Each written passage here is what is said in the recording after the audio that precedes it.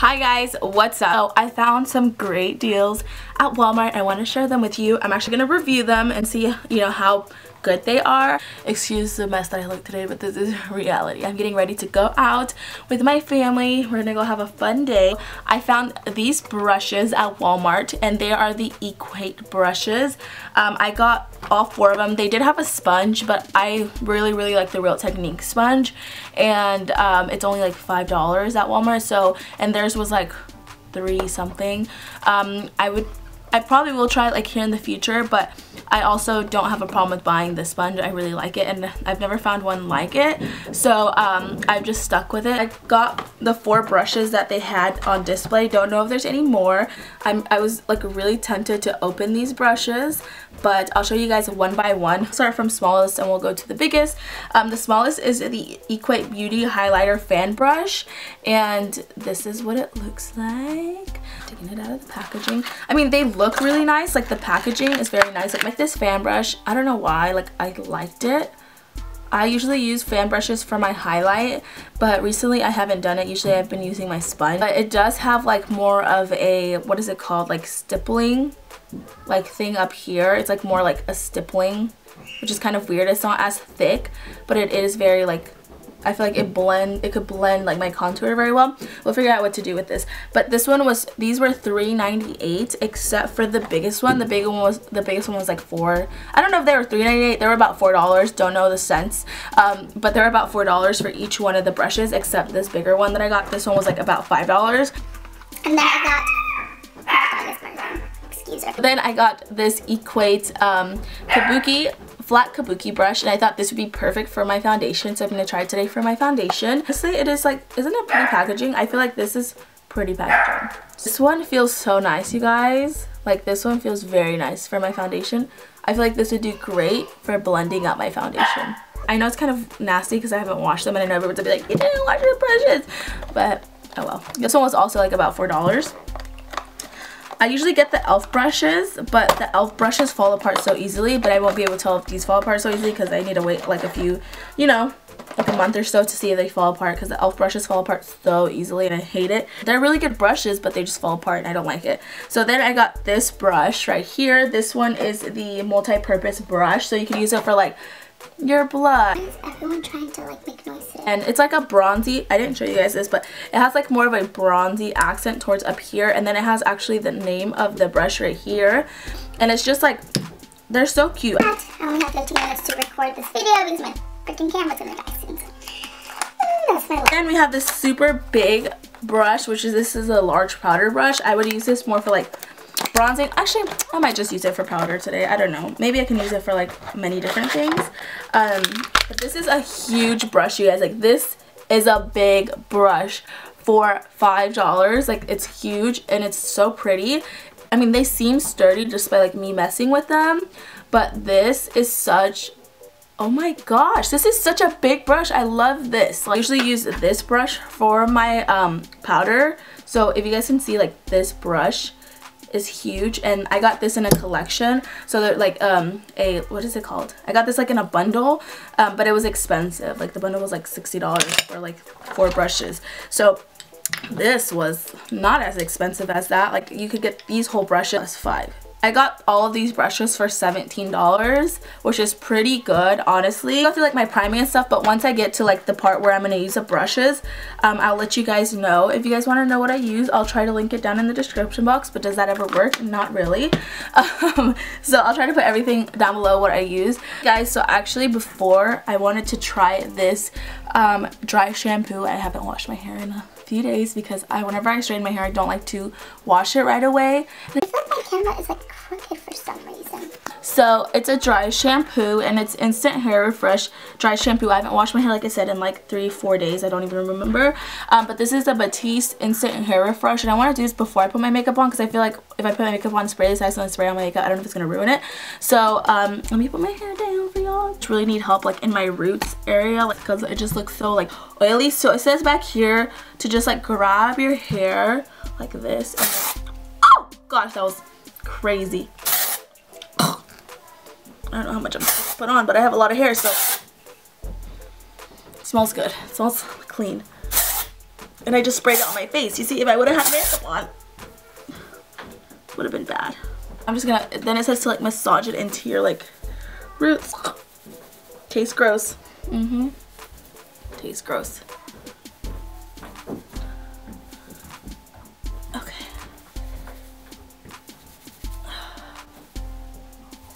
This is the reality of it. It like left me a white cast right here. There's like spots where I just need to like spray a little more maybe. The front of it looks good. You see that?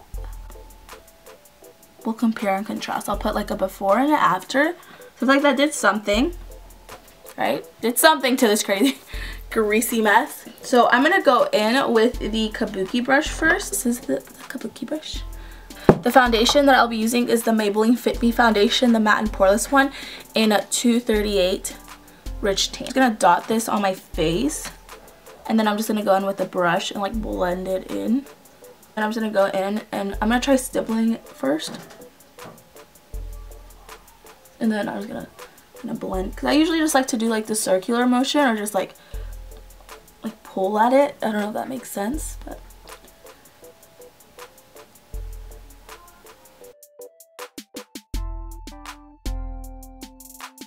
it out pretty nicely, guys.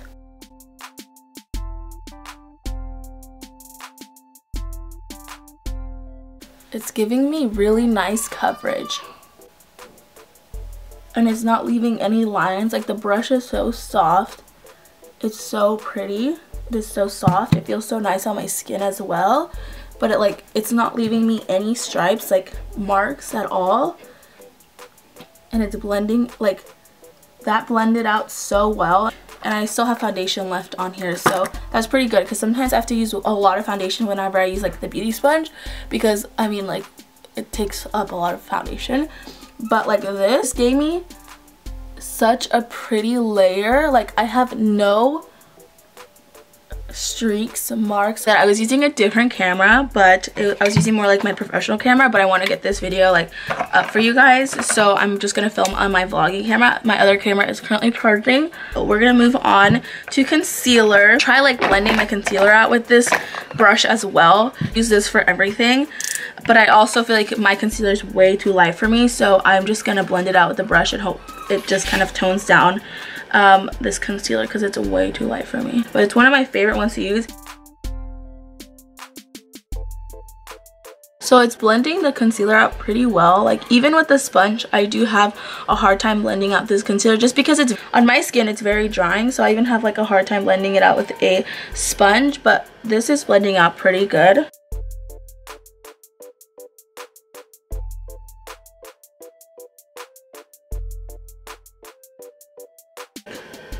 So usually whenever I use brushes to blend out my foundation and my concealer, everything ends up rubbing off on my nose just because I feel like the brush is too harsh on like whenever I'm like rubbing it into my skin. This brush is so soft that it didn't rub anything off on my nose. If you guys can see like it's still there.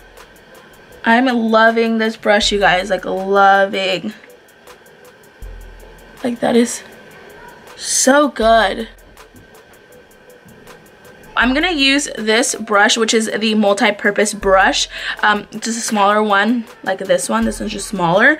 Um, I'm gonna use this brush to set underneath my eye. Okay guys, so I got my Airspun translucent powder. I lied to you, I'm not using the translucent powder, I'm using the Naturally Neutral powder by Airspun. I'm just gonna grab a little bit on my brush and tap it in to my skin. You guys, these brushes are so nice. Like, wherever I place a powder, it's going. And then to blend, I usually have to stick with my, um, with my sponge. But these brushes, like, that blended that out so nicely.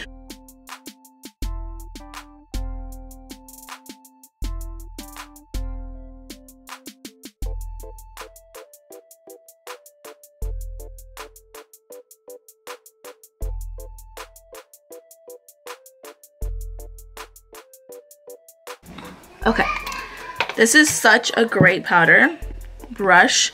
I know this one might be good for like stamping, so that's what I'm gonna do. I'm gonna grab my loose face powder. I'm just gonna set everywhere else where I didn't put the concealer.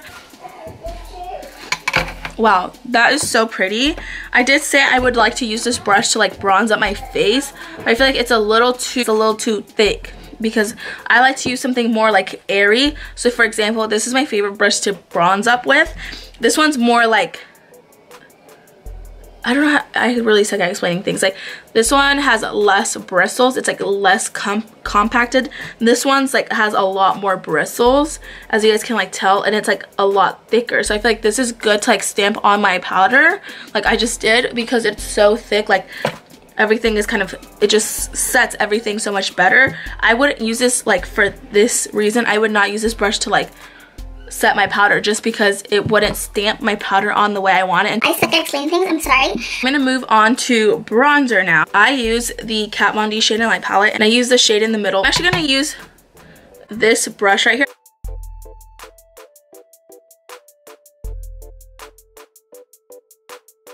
Just tell right off the back, it's just giving me, it's putting too much bronzer on my face. Like I'm pretty sure, like this is why I like to use these thicker, these like less denser ones, um, just because it doesn't apply so much to one spot.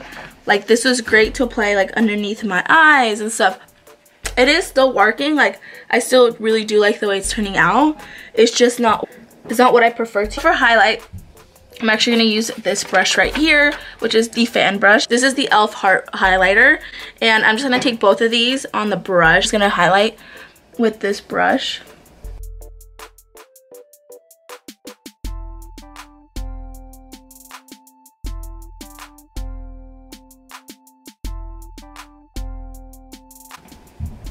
It did, I mean, I like it. I would use it for highlight. I get the brush that I used for my bronzer and to set. I'm also gonna apply my high, or my, I'm also gonna apply my I'm also gonna apply my blush. I cannot talk. So I'm just gonna grab a little bit of that blush. Um, I'm using this Dolce one in, I don't know what the name is, but it's like a really pretty peachy shade.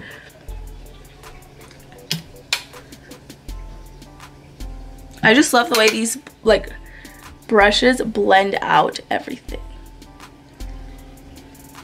Like that is so pretty. Okay guys, so now I'm gonna finish just the rest of my makeup and let my other camera charge just a little bit so I can come back and tell you guys just my final thoughts on the brushes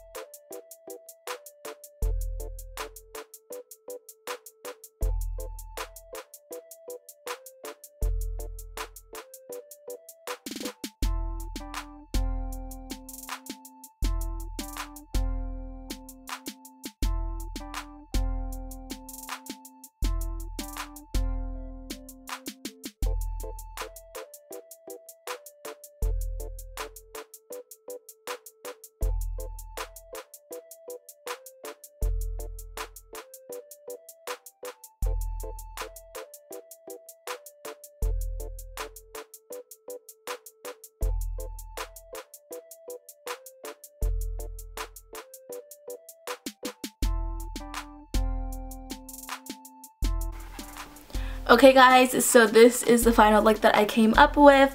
Um, nothing special, I just went with like a boulder, with a boulder eye and I put my bangs down but they're really bothering me.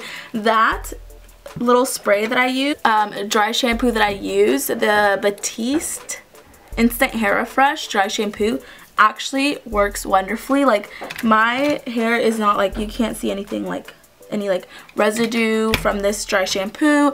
I really like the way it just makes my hair look like like fresh. Like it just makes me look like I just got out of the shower and blow dry my hair and straightened it. Um, and look how long my hair is getting guys. Isn't that crazy? That's a thumbs up for that dry shampoo. No money wasted there. And then I have nothing but great things to say about these brushes. It's honestly crazy how well they worked and I love them. So I definitely do recommend them for you guys. So if you have just started out making makeup, you're looking for some cheap brushes, some beautiful brushes, I think these brushes are great. Like I said, I haven't washed them. I haven't like worn them out for like first impressions. They are so good. The one that I wouldn't buy if I could go back and I wouldn't buy was the fan brush, but I did just get all four of them because there was four. Um, I wouldn't get the fan brush. It does it. It's not my favorite thing in the world. Um, I don't usually even use fan brushes, so I would just, I would leave the fan brush out. Um, like I said, if you have a sponge, I like to just grab my sponge and kind of put my highlighter on with that. Um, I would just put that, you know, I wouldn't buy that one, but these three brushes here are great. So if you guys would like me to review the sponge, the Equate sponge, um, I could definitely do that for you. I would love to hear down in the comments what you guys would like to see. Um, like I said, I'm sorry that my good camera died or my like professional camera died, but I did just want to get it up for you guys. So it just, like my face is flawless today. Like it is so pretty. It is so flawless. So if you guys like this video, make sure to give it a thumbs up. I am going to put some lipstick on. It's just in the car. I'm going to put some red lipstick on because I feel like putting it right on today. But um, if you guys like this video, then definitely give it a thumbs up. If you haven't subscribed to our channel, please subscribe. Don't forget to click the notification bell down below. Thank you guys so much for watching this video. I'll talk to you guys next time. Bye guys.